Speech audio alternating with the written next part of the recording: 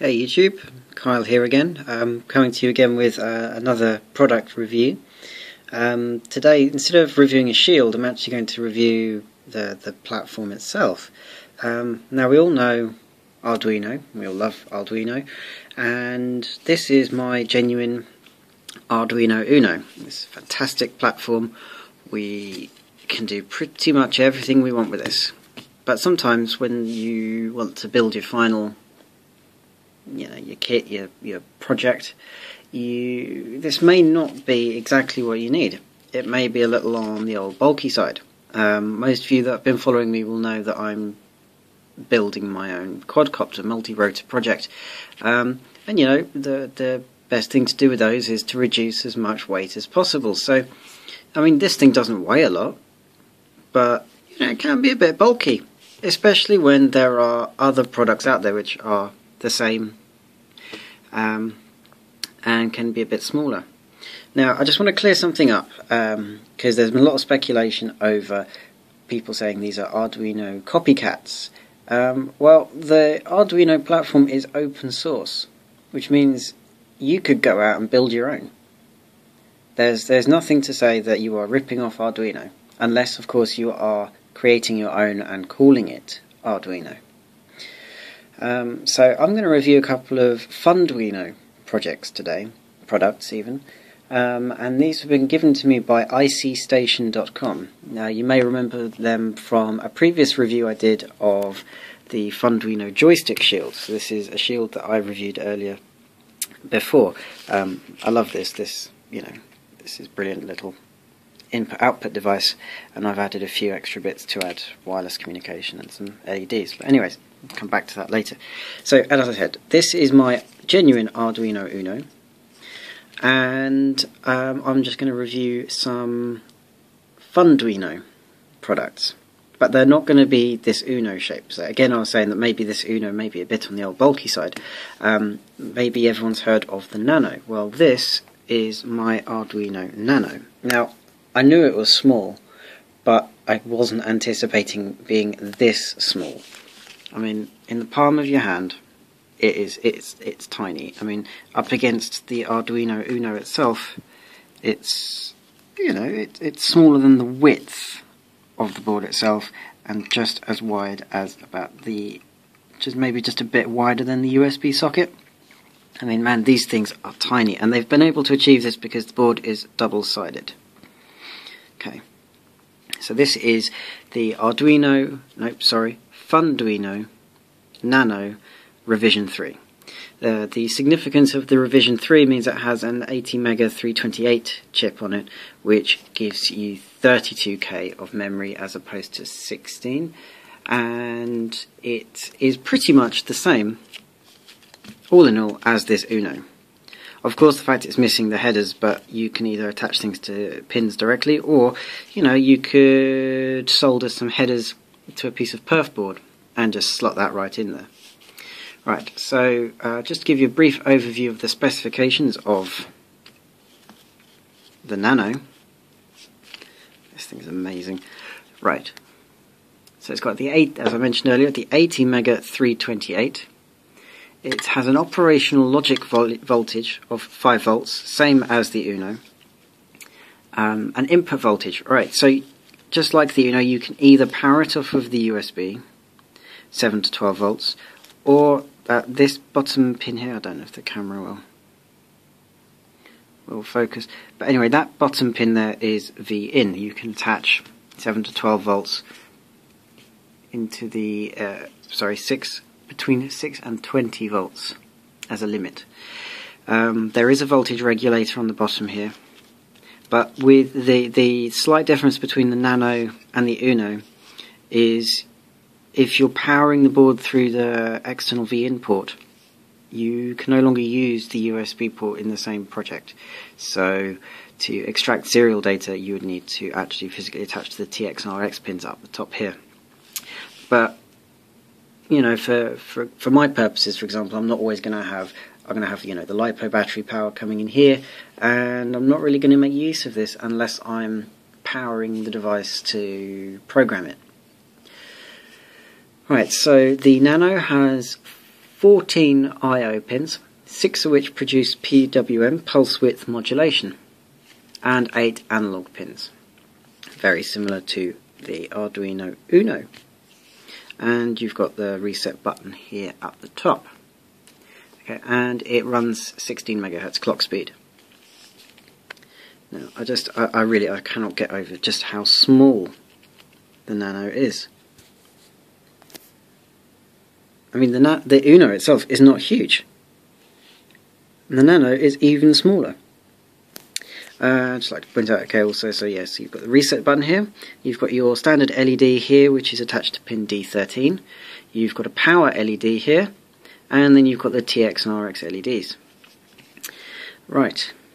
Um, okay, so like I said, this came through the post from icstation.com. Took a couple of weeks to turn up from the point where they dispatched it, and you know I was very I was very pleased with it. It came with a, a micro USB cable as well.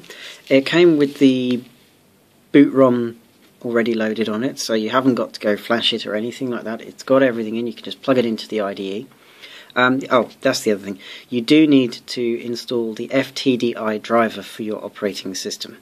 So whereas the Uno and the Mega, which have support built into them already through the IDE, the the Nano will require the FTDI driver for it before it will appear as a serial COM device.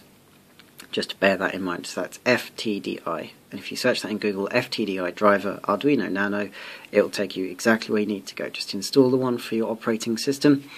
Uh, you may need to restart your system, but then you're away. So, like I said, this came with the the, the relative firmware pre-installed on it. Um, the guys also shipped it with you know the standard blink sketch on there so you power it up and you know it's working because this bottom LED here will just start blinking one two three you know once a second. I mean yeah, I've, I've been able to put because these have exactly the same memory I've been able to put my entire quadcopter sketch which is about 25k which is on here straight onto here and I've reduced my weight and my overall project size it's fantastic. I mean, what this has allowed me to do is I've got a piece of uh, prototyping board which I can mount my Uno on here like that. And then I've got my separate IMU chip, which I'll stick here, and my wireless chip here. Because originally I've got a shield that sits across the top of this board with everything I've just mentioned on top. So that's, you know, two boards of Uno size to get this working. Well, now that I've got this, I can have one board the same size as the Uno with everything I need on it. Just makes everything feel a lot neater, a lot more compact. Right. Well, this wasn't the only thing that icstation.com sent me. They also went the complete other end of the scale, and ta-da! They sent me this Funduino Mega. Now this is their Funduino version of the Arduino Mega 25 560. Now this is insane. This is the creme de la creme of Arduino boards currently. You know, you will never run out of I.O. pins on this board. Um, this also is the only board currently to have multiple serial devices.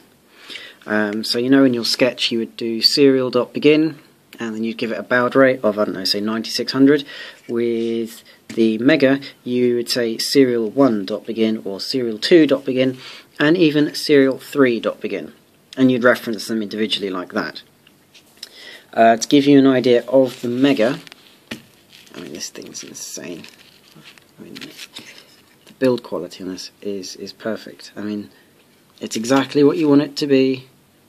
There's no dodgy links, no dodgy solder connections. It's, you know, it's finished really nicely and just works.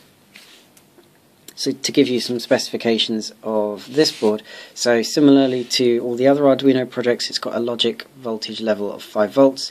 Um, again, the same input-output voltage limits. There are a grand total of 54 input-output pins, uh, 15 of which provide PWM output, which is these ones along here, clearly labelled PWM. All of your communication devices are here. Um, you get a broken out SDA and SCL as your I squared C connection port pins. Um, you see this now on the Arduino Uno Rev 3, um, but it's more prominent now uh, and it's a lot easier. It used to come hanging off of analog pin 4 and 5, um, but now they've actually given them their own dedicated labeled pins, which is very nice. Okay, um, of EEPROM memory, this has got 4 kilobytes of EEPROM memory, whereas the Nano and the Uno only have 512 bytes. So, you know, if you're going to be writing in and out of memory, which, which you can do with certain sketches, um, you know, of course, this will have more memory. Right. Uh, again, this has a clock speed of 16 megahertz, but has a combined total memory, flash memory, of 256k, whereas these are only 32k. Um, again, this came with the software bootloader put on it, and also the uh, Blink sketch preloaded, so you know it was working once it's connected to power. So you've got your reset button here, very familiar to everyone. Uh, power LED up here. Um, this is your standard D13 pin attached LED and your standard TX RX pins. Um, and of course you've got your your power system here. So you can, with this one, you can attach external power and the external USB connection to read and write out of the serial ports, as well as powering it externally. Whereas, as I mentioned before, with the Uno, you have to choose one or t'other. Um, right. I will just bring up my web browser and show you where and how much these, these things cost. Again, this also came with a USB cable. Um, again, two weeks to ship and came very well packaged, very well protected. Um, no bent pins on anything during the post and shippage. Um, yeah. So bear with me a second and I'll bring up my web browser and I'll show you the website where you can order these from. I would recommend these. I mean, uh, they are a fraction of the cost of the Arduino items themselves. I know that, for example, in your local Maplin store, the Arduino Mega, same version as this, is about 44 British pounds. Um, and this is considerably not that. So bear with me a second while I bring up my web browser. So here we have the icstation.com website and this is the Funduino Nano that I showed you and spoke to you about earlier. This is currently uh, twelve pound twelve dollars and ninety eight cents. This is US currency, um, but this equates to seven pounds seventy six in British sterling. And the Mega. This is the Funduino Mega that I was also showing you at 20 US dollars and 31 cents, which works out at 12 pounds 74 um, with Great British pounds.